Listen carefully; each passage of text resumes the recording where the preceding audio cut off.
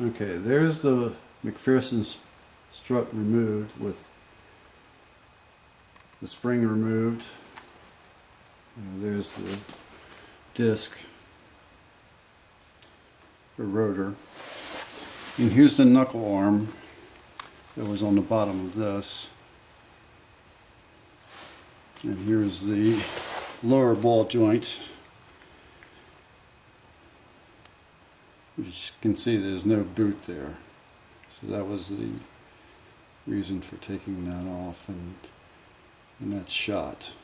And again, here's the tie rod end with that boot also in terrible shape. Actually, boot's gone.